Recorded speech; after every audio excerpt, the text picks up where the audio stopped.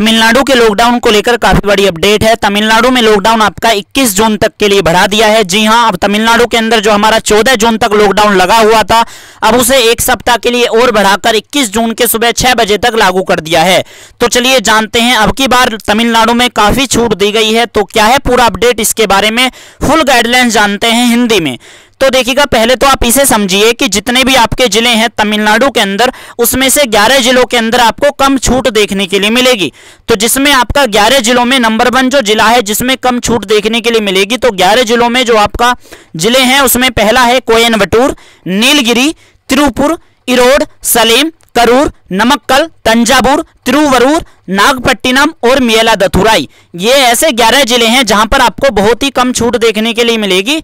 लेकिन 27 जिलों में आपको जो है, बाकी 27 जिलों में आपको बहुत अधिक छूट देखने के लिए मिलेगी। क्योंकि इन 11 जिलों में कोविड के केस काफ़ी ज़्यादा हैं और 27 जिलों में कोविड के केसों में काफ़ी कमी आ रही है। इसलिए यह फैसला लिया गया है। तो चलिए, पहले तो हम उन सामान्य गाइडलाइंस को जान लेते हैं जो हमारी पूरी तमिलनाडु के अंदर लागू रहेंगी। यानी कि इन ग्यारह जिलों में भी यह गाइडलाइंस लागू रहेंगी और इसके अलावा सभी जिलों में ही ये गाइडलाइंस हमारी लागू रहेंगी। पहले हम उन गाइडलाइंस को जान लेते हैं। तो वो देखिएगा, पहला जो पॉइंट है, जो पूरे तमिलनाडु के अंदर हमारी गाइडलाइंस रहेंगी तो पहला जो हमारा पॉइंट है वो ये है कि देखिएगा, जितनी भी आपकी प्राइवेट सिक्योरिटी की कंपनियाँ हैं उनके ऑफ़िस हैं और घर और अपार्टमेंट में आपका डोमेस्टिक मैनेजमेंट से जुड़ी हुई जितनी भी सर्विसेज़ है, जैसे हाउसकीपिंग नौकर वगैरह जो होते हैं, इनके लिए कहा जा रहा है कि आवाजाही करने के लिए आपको फुल इजाज़त है, लेकिन आपको ई रजिस्ट्रेशन करना होगा, ठीक है जी? अगला पॉइंट यह है कि देखिएगा, जितने भी आपके सेल्फ एम्प्लॉयड व्यक्ति हैं, जैसे इलेक्ट्रिशियन है प्लम्बर है मोटर टेक्नीशियन है और भड़ाई है, यानी कि जो हमारा फर्नीचर वगैरह का जो काम करते हैं, इनसे जुड़ी हुई सर्विस जो है, लोग जो है, ये घर पर रिपेयरिंग के लिए सुबह नौ बजे से लेकर शाम पाँच बजे तक जा सकेंगे। ठीक है, घर पर रिपेयरिंग के लिए आप जा सकते हो सुबह नौ बजे से लेकर शाम पाँच बजे तक और दोपहर तक ई रजिस्ट्रेशन करने के लिए आपको अनुमति होगी वेबसाइट पर। और कहा जा रहा है कि इन लोगों को अपनी दुकानों को खोलने के लिए अनुमति नहीं है, ठीक है? हालाँकि ऐसी दुकानों को खोलने के लिए अनुमति नहीं है। तो देख सकते हो साफ़ साफ़ लिखी हुआ है। अगला पॉइंट ये है कि जितनी भी देखेगा, साइकिल और आपकी बाइक की मरम्मत की दुकानें रिपेयरिंग की दुकानें हैं, ये भी सुबह नौ बजे से लेकर दोपहर दो बजे तक पूरे तमिलनाडु के अंदर खुलेंगी। लेकिन बिक्री के पर्पज से आप साइकिल या बाइक अगर आप बेच रहे हो तो भाई वो दुकानें हमारी शोरूम वगैरह बंद रहेंगे, ठीक है? जितने भी देखिएगा, हमारे रेंट के हमारे ट्रांसपोर्ट हैं, किराए पर जितने भी हमारे वाहन हैं टैक्सी और ऑटो में जितने भी यात्री यात्रा कर रहे हैं तो उनको ई रजिस्ट्रेशन के साथ ही अनुमति होगी। साथ ही बताया जा रहा है कि किराए की टैक्सियों में ड्राइवर के अलावा तीन यात्रियों को यात्रा करने की अनुमति है, जबकि ऑटो में ड्राइवर के अलावा केवल दो यात्रियों को यात्रा करने की अनुमति होगी। ठीक है जी? अगला पॉइंट यह है कि जितने भी देखेगा कृषि से जुड़े हुए उपकरण हैं। पंप सेट रिपेयरिंग की जितनी भी दुकानें हैं, ये भी सुबह नौ बजे से लेकर दोपहर दो बजे तक खुलेंगे, लेकिन ये भी दुकानें बिक्री आउटलेट इनके भी बंद रहेंगे, ठीक है? चश्मे की दुकानें और चश्मे की जो हमारी बिक्री कर रहे हैं, ये हमारी खुली रहेंगी, और चश्मे की रिपेयरिंग करने वाली दुकानें भी सुबह नौ बजे से लेकर दोपहर दो बजे तक खुल सकेंगी।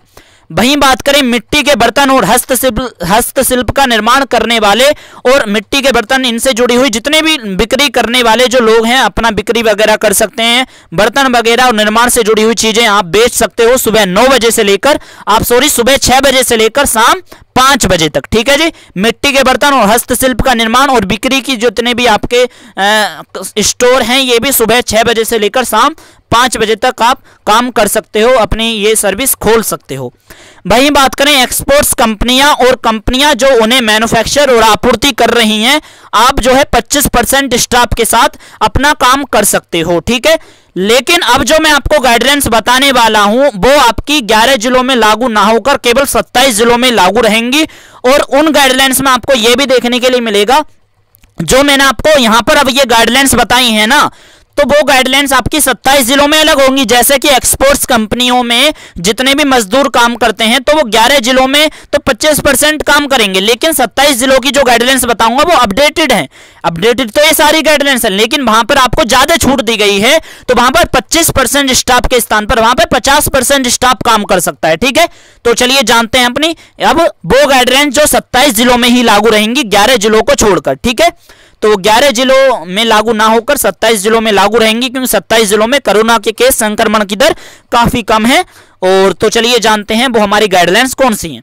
तो 27 जिलों के अंदर, अगर आप ये जानना चाह रहे हो कि वो 27 ज़िले कौन से हैं तो मैंने आपको 11 जिलों के नाम बताए थे, और उन 11 जिलों के अलावा जितने भी आपके ज़िले हैं, वो 27 ज़िले हैं। तो 27 जिलों के अंदर जितनी भी ब्यूटी पार्लर और स्पा की जितनी भी दुकानें हैं जिनमें जिनमें एसी नहीं लगा हुआ है, सुबह छह बजे से लेकर शाम पाँच बजे तक आप अपना कार्य कर सकते हो, दुकान वगैरह खोल सकते हो। केवल आप 50 परसेंट कस्टमर के साथ ही अपने ये चीज़ें खोलोगे, ठीक है? मान के चलिए किसी ब्यूटी सैलून के अंदर जो है, आपकी चार सीट लगी हुई हैं, ठीक है? अब केवल उसमें दो ही कस्टमर की सीट पर कस्टमर बैठ सकते हैं और दो के लिए वो बाद में ही बुलाएँगे, ठीक है जी? समझ गए? पचास परसेंट कस्टमर। अगला पॉइंट यह है कि जितने भी आपके पार्क हैं और आपके प्ले ग्राउंड हैं, केवल टहलने के लिए सुबह छह बजे से लेकर सुबह नौ बजे तक खुले रह सकते हैं। ठीक है जी? कृषि उपकरण और पंप सेट मरम्मत की दुकानें बिक्री आउटलेट के लिए नहीं खुलेंगी, लेकिन मरम्मत रिपेयरिंग के लिए दुकानें कृषि उपकरण से जुड़ी हुई सुबह नौ बजे से लेकर शाम पाँच बजे तक खुली रह सकती हैं। लेकिन देखो, जैसे मैंने आपको ऊपर गाइडलाइंस बताई थी, वहाँ पर गाइडलाइंस में दो बजे तक का टाइम था। लेकिन आपको ध्यान रहे, वो दो बजे तक का टाइम वो किन पे लागू होगा? फिर आपका ग्यारह जिलों पर। लेकिन सत्ताईस जिलों में आपका गाइडलाइंस में चेंज है। ठीक है टाइम बढ़ा रखा है, क्योंकि आपका 27 जिलों में सॉरी 27 जिलों में जो है, आपका टाइम बढ़ा रखा है, क्योंकि यहाँ पर कोविड के केस कम है। 11 जिलों में आपका कोविड के केस बहुत ज़्यादा है, इसलिए वहाँ पर टाइम कम था। ठीक है?